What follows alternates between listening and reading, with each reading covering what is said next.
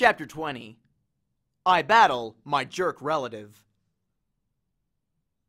A Coast Guard boat picked us up, but they were too busy to keep us for long, or to wonder how three kids in street clothes had gotten out into the middle of the bay. There was a disaster to mop up. Their radios were jammed with distress calls. They dropped us off at the Santa Monica Pier with towels around our shoulders and water bottles that said, I'm a junior Coast Guard, and sped off to save more people. Our clothes were sopping wet, even mine. When the Coast Guard boat had appeared, I'd silently prayed they wouldn't pick me out of the water and find me perfectly dry, which might have raised some eyebrows. So I'd willed myself to get soaked. Sure enough, my usual waterproof magic had abandoned me. I was also barefoot, because I'd given my shoes to Grover. Better the Coast Guard wonder why one of us was barefoot than wonder why one of us had hooves. After reaching dry land, we stumbled down the beach, watching the city burn against a beautiful sunrise. I felt as if I'd just come back from the dead, which I had. My backpack was heavy with Zeus's master bolt.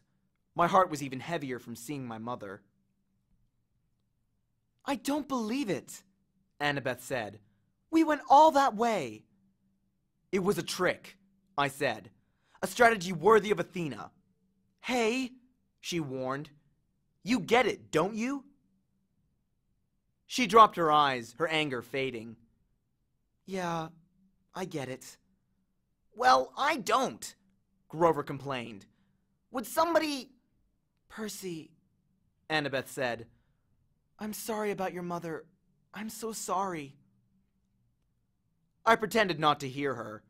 If I talked about my mother, I was going to start crying like a little kid. The prophecy was right, I said. You shall go west and face the god who is turned. But it wasn't Hades. Hades didn't want war among the big three. Someone else pulled off the theft. Someone stole Zeus's master bolt and Hades' helm, and framed me because I'm Poseidon's kid. Poseidon will get blamed by both sides. By sundown today, there will be a three-way war, and I'll have caused it. Grover shook his head, mystified. But who would be that sneaky? Who would want a war that bad? I stopped in my tracks, looking down the beach. Gee, let me think. There he was, waiting for us, in his black leather duster and his sunglasses, an aluminum baseball bat propped on his shoulder. His motorcycle rumbled beside him, its headlight turning the sand red. Hey, kid!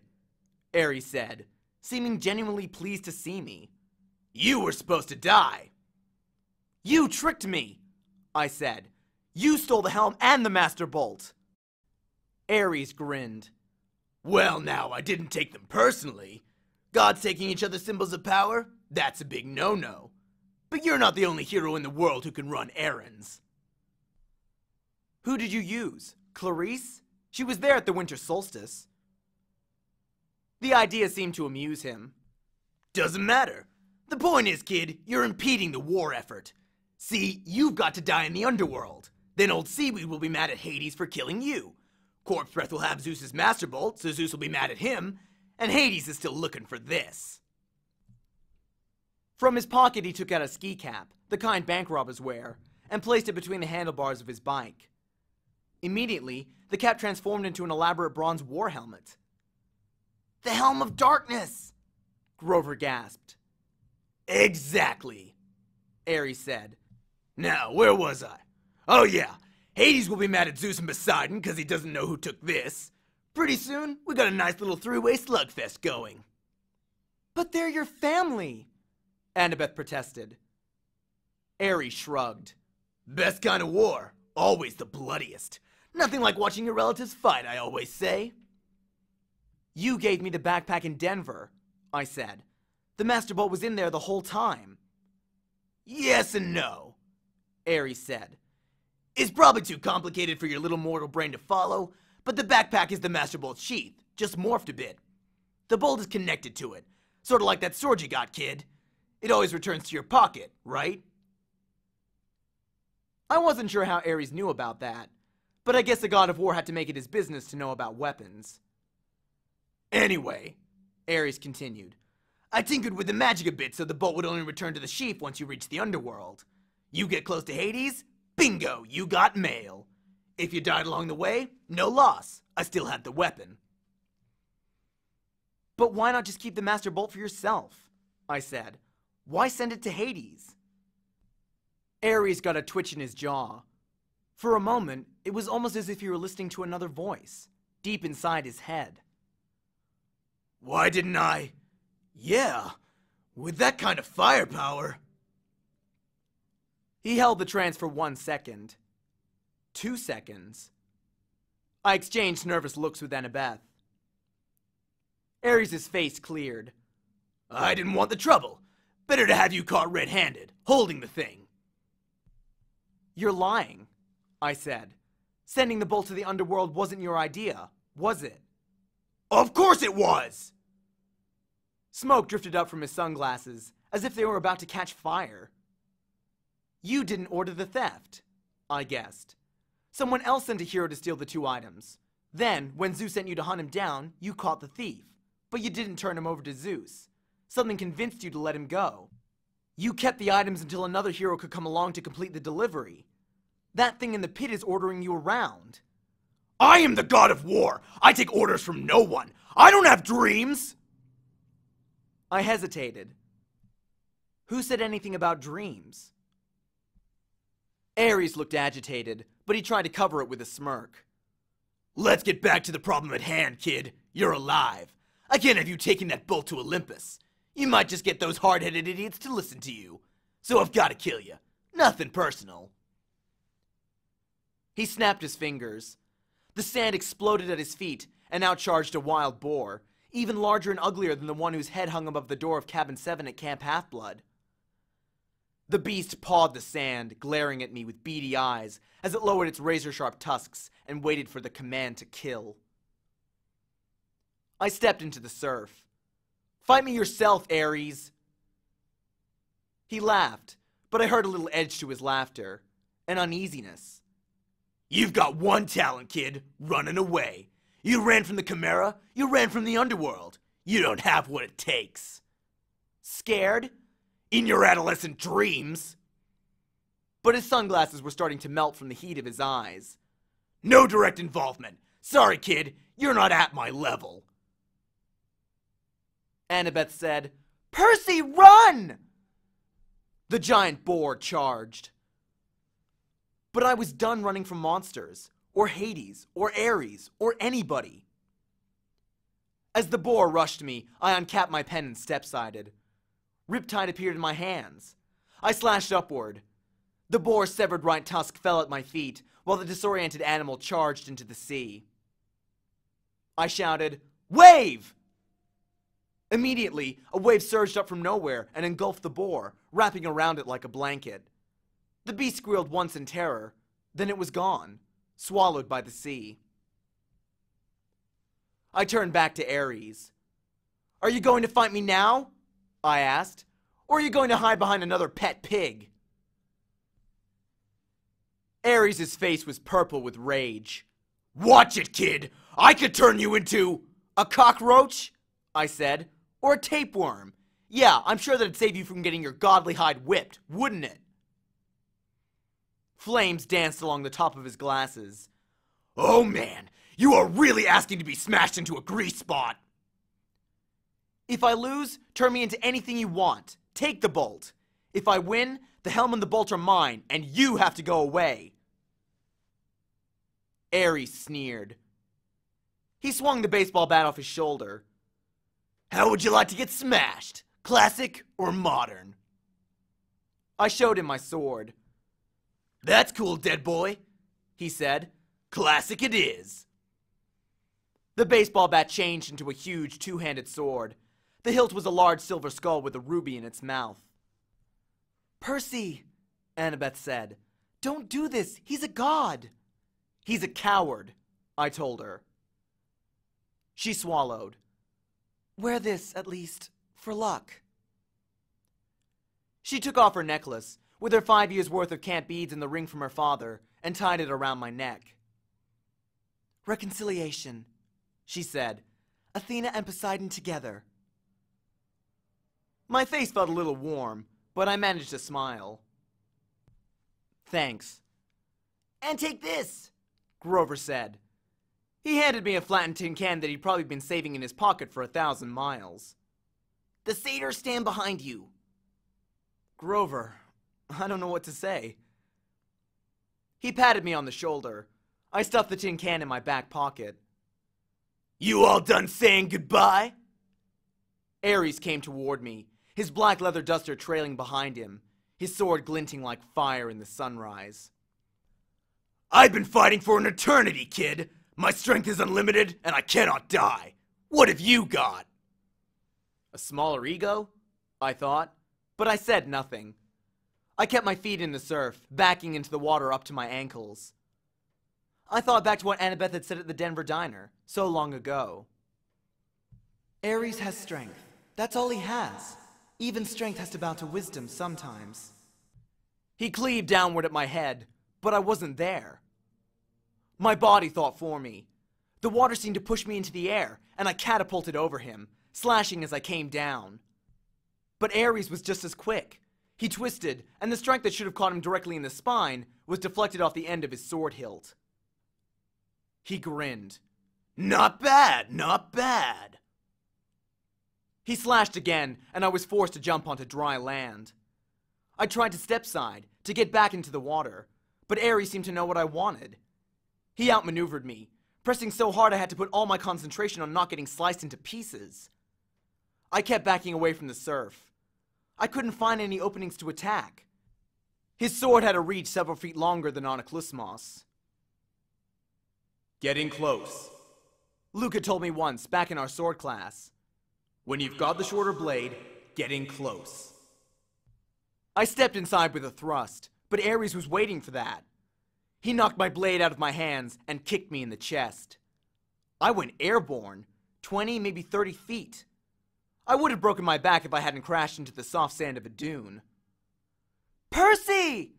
Annabeth yelled. Cops! I was seeing double. My chest felt like it had been hit with a battering ram, but I managed to get to my feet.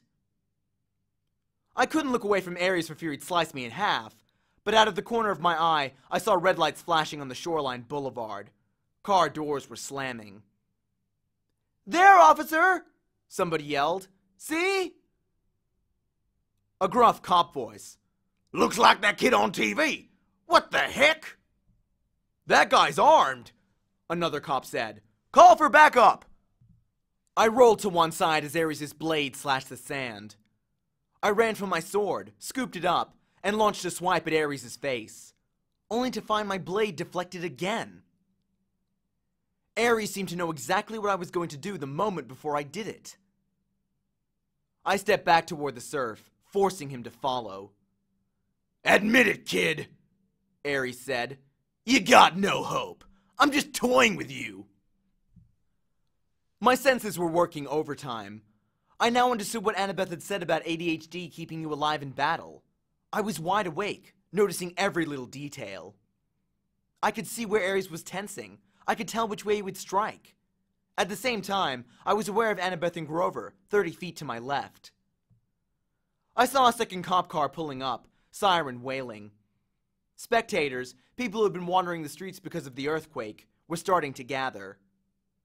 Among the crowd, I thought I saw a few who were walking with the strange, trotting gait of disguised satyrs. There were shimmering forms of spirits, too, as if the dead had risen from Hades to watch the battle. I heard the flap of leathery wings circling somewhere above. More sirens. I stepped farther into the water, but Ares was fast. The tip of his blade ripped my sleeve and grazed my forearm. A police voice on a megaphone said, Drop the guns! Set them on the ground, now! Guns? I looked at Ares' weapon, and it seemed to be flickering.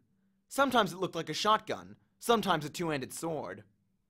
I didn't know what the humans were seeing in my hands, but I was pretty sure it wouldn't make them like me. Ares turned to glare at our spectators, which gave me a moment to breathe. There were five police cars now, and a line of officers crouching behind them, pistols trained on us. This is a private matter, Ares bellowed. Be gone! He swept his hand, and a wall of red flame rolled across the patrol cars. The police barely had time to dive for cover before their vehicles exploded. The crowd behind them scattered, screaming. Ares roared with laughter. now, little hero, let's add you to the barbecue. He slashed. I deflected his blade. I got close enough to strike, tried to fake him out with a feint, but my blow was knocked aside. The waves were hitting me in the back now. Ares was up to his thighs, wading in after me. I felt the rhythm of the sea, the waves growing larger as the tide rolled in. And suddenly I had an idea. Little waves, I thought. The water behind me seemed to recede. I was holding back the tide by force of will, but tension was building, like carbonation behind a cork. Ares came toward me, grinning confidently. I lowered my blade, as if I were too exhausted to go on. Wait for it, I told the sea. The pressure was now almost lifting me off my feet. Ares raised his sword. I released the tide and jumped, rocketing straight over Ares on a wave. A six foot wall of water smashed him full in the face, leaving him cursing and spluttering with a mouthful of seaweed. I landed behind him with a splash and feinted toward his head, as I'd done before. He turned in time to raise his sword, but this time he was disoriented. He didn't anticipate the trick. I changed direction, lunged to the side, and stabbed Riptide straight down into the water, sending the point through the god's heel. The roar that followed made Hades' earthquake look like a minor event. The very sea was blasted back from Ares, leaving a wet circle of sand 50 feet wide. Ichor, the golden blood of the gods, flowed from a gash in the war god's boot. The expression on his face was beyond hatred. It was pain, shock, complete disbelief that he'd been wounded. He limped toward me, muttering ancient Greek curses.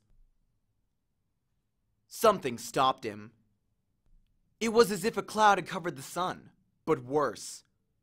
Light faded, sound and color drained away. A cold, heavy presence passed over the beach, slowing time, dropping the temperature to freezing, and making me feel like life was hopeless. Fighting was useless. The darkness lifted. Ares looked stunned. Police cars were burning behind us. The crowd of spectators had fled. Annabeth and Grover stood on the beach, in shock, watching the water flood back around Ares' feet, his glowing golden ichor dissipating in the tide. Ares lowered his sword. You have made an enemy, godling, he told me. You have sealed your fate. Every time you raise your blade in battle, every time you hope for success, you will feel my curse. Beware, Perseus Jackson. Beware. His body began to glow. Percy! Annabeth shouted. Don't watch! I turned away as the god Ares revealed his true immortal form. I somehow knew that if I looked, I would disintegrate into ashes. The light died. I looked back. Ares was gone. The tide rolled out to reveal Hades' bronze helm of darkness. I picked it up and walked toward my friends. But before I got there, I heard the flapping of leathery wings. Three evil looking grandmothers with lace hats and fiery whips drifted down from the sky and landed in front of me. The middle Fury, the one who would be Mrs. Dodds, stepped forward. Her fangs were bared, but for once she didn't look threatening. She looked more disappointed, as if she'd been planning to have me for supper, but had decided I might give her indigestion. We saw the whole thing, she hissed. So, it truly was not you? I tossed her the helmet, which she caught in surprise. Return that to Lord Hades, I said. Tell him the truth. Tell him to call off the war. She hesitated, then ran a forked tongue over her green, leathery lips. Live well, Percy Jackson. Become a true hero. Because if you do not, if you ever come into my clutches again... She cackled, savoring the idea. Then she and her sisters rose on their bat wings, fluttered into the smoke filled sky, and disappeared. I joined Grover and Annabeth, who were staring at me in amazement. Percy, Grover said. that was so incredibly Terrifying, said Annabeth. cool. Grover corrected. I didn't feel terrified. I certainly didn't feel cool. I was tired and sore and completely drained of energy. Did you guys feel that? Whatever it was? I asked. They both nodded uneasily. Must have been the Furies overhead. Grover said. But I wasn't so sure. Something had stopped Ares from killing me, and whatever could do that was a lot stronger than the Furies.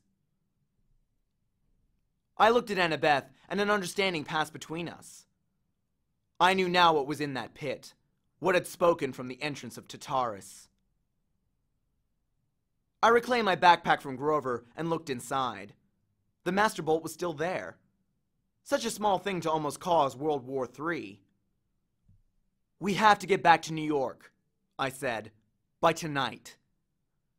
That's impossible, Annabeth said, unless we fly, I agreed. She stared at me. Fly like in an airplane, which you were warned never to do lest Zeus strike you out of the sky, and carrying a weapon that has more destructive power than a nuclear bomb?